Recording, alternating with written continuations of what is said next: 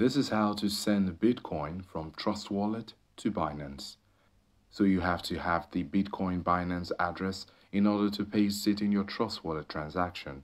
So first you want to open the Binance app in order to get your Bitcoin Binance address.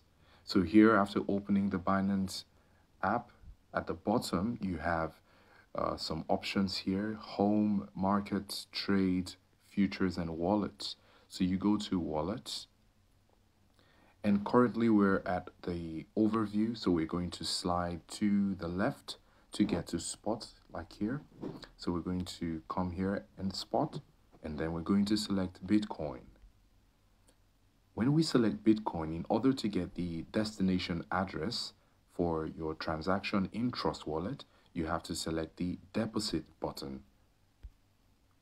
And when you select the deposit button, you have the different networks. We're going to go right ahead to select Bitcoin. And when that happens, you have two options. You could use the QR code like so, or you could use the deposit address, which is an alphanumeric number address rather. So we're going to come over here and copy it. So now that it's copied, it's currently in the clipboard. So we're going to go now to Trust Wallet. When we open our Trust Wallet, we get to verify the account with our login details. And then we have the crypto options here and we're looking for Bitcoin and here it is. So now we're currently in Bitcoin. We have the option to send, to receive, to buy, and more. So we want to send from Trust Wallet to Binance. We've also copied the Binance Bitcoin address, so we're going to select send here on Trust Wallet. So here we have the two options, and you can see here that there is the option to um, send it through this address. I'm going to click and hold, and I'm going to select paste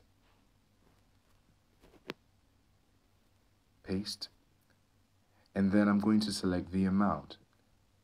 So currently there is no Bitcoin here. This is just to demonstrate how you can do it. And now you have the address and you have the amount.